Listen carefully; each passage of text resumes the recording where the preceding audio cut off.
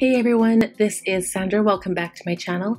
So this is my plan with me for the week of March 14th to the 20th, and we're going to get started first in my Erin Condren vertical.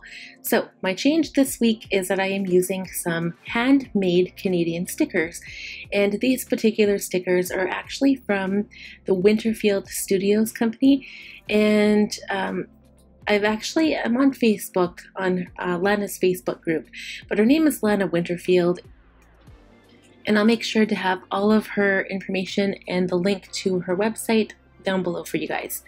So this particular scene is actually a scene sticker kit.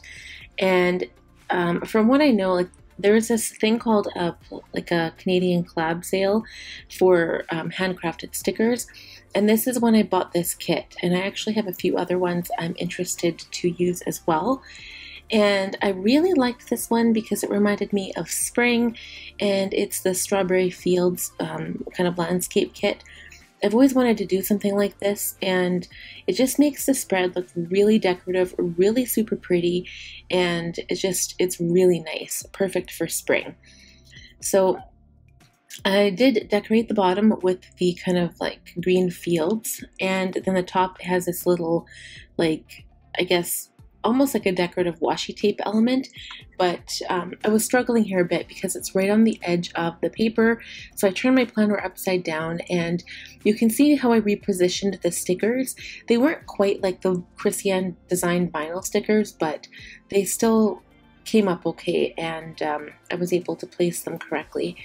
So then moving on, I used quite a few boxes here, but I think what I did first is I placed the date stickers. And if you guys have this um, like vertical Erin Condren, you'll notice there's like that little um, empty box right underneath the date. So I just kind of covered that up with these stickers as well. It was a perfect fit. And then I just entered in the date with my black Pentel Energel gel pen. And I also added a barn on the left hand corner. And I just think it was so cute. Like, uh, there, I also had a choice between the strawberry fruit stand, which I really wanted to use, but I think this kit will actually allow me to have another week, so I'm excited to um, plan with the same kit again. So instead, I decided to use these little list stickers for my weekly tasks, mostly for my business stuff. So I put that in the top box right there. And then there goes the barn, which again, super cute. I love it. And then what I decided to do is I put my posting schedule for, uh, I guess, Monday, Wednesday, Thursday, Friday, and Sunday on the first little notch of the list sticker just to remind myself that I need to post on those days. And then throughout the week, I do just use boxes and stuff for my reminders of cleaning and picking up my son. And I really like these weekly kits if they're a little bit more decorative like this one is. Generally, if I just have list stickers and then I'm using some random stickers from the Happy Planner, it's not as nice and I don't like it as much. And also, um, just to kind of make it stick out a bit more, I did decide to use my Zebra Mildliner. Um, it, it actually matches the strawberry color perfectly. And I just highlighted that posting video just so I could like see it right away. And yes, for the rest of the spread, I used these boxes. And honestly, you guys, I didn't have a whole lot going on this week. I basically just have my regular old grocery shopping on the Monday. I've got cleaning on the Tuesday and the Wednesday. Thursday is my budget day, and again, my son has early dismissal. Friday, we pay the bills, and I did leave the rest of the spread blank except for a few decorative stickers from the same kit, which you'll see here. And um, I yeah, I, I kind of like how the spread isn't too filled up with stuff. And like I said, this week is pretty mellow, and I'm just gonna write some editing stuff at the top when I get to that particular day. So there are some times when I'll have weeks that I know I'm super crazy busy, so I will just write everything out. And then there are times that I really don't know what I'll be doing on those days, so I just decided to leave it blank. And as you can see in this kit, that sticker I just placed down is actually, and the same with that one, they're actually silver foil. So they're really pretty, but they do look black from the angle that I've taken this video.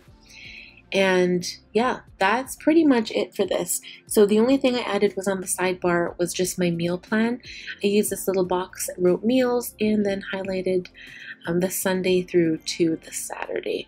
I think I added Sunday at the end because I start my week Sunday usually, and I realized this planner goes Monday to Sunday, so I just have two Sundays, no biggie. But there's uh, Lana's card, so Again, I'll leave everything linked down below for you guys so you can go check out her website. She has some really pretty stickers. And now we're moving on to the bullet journal. So I'm pulling out my Archer and Olive and I'm kind of keeping with the same theme. I do not have feathers in this week, but what I decided to do is pull out my Tombow dual brush pens. I'll leave all the colors I used in the spread down below.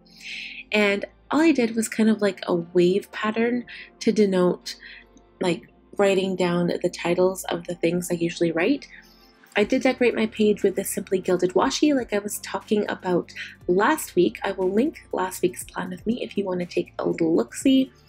And um, this is like the really light pink and purpley blue pastel washi tape and it's got like the stardust pattern on it. So this one also goes really, really well with my theme this month. And I, again, I can't say how much I love using washi tape to decorate my page.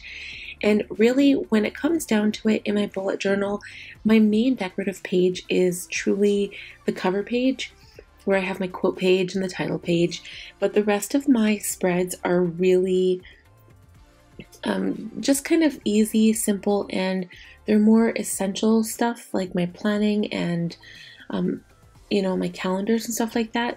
I don't really add too many decorative elements throughout my monthly spread. Um, but here, as you can see, I am adding events, and I just kind of did like a squiggle line with my Tombows, and then I added um, I do go Sunday to Saturday in my bullet journal because it just messes me up too much if I always try to plan Monday to Sunday. And I use the varying colors of my Tombows to write, or I guess color in this little area. And this part is my things to do. The right hand side of the page is my grocery list and then I also include a next week and a note section. To be quite honest, I don't really use the note section unless something comes up, which it honestly doesn't really. But I have been filling out the next week just in case there are like days off school or appointments or anything like that. And then I just separate it to Costco, Walmart, and Sobeys, and that's it. I hope you guys enjoyed this video. If you did, please give it a thumbs up. If you're new here, please subscribe. I'd love to have you, and click on that bell notification button to be notified every time I upload.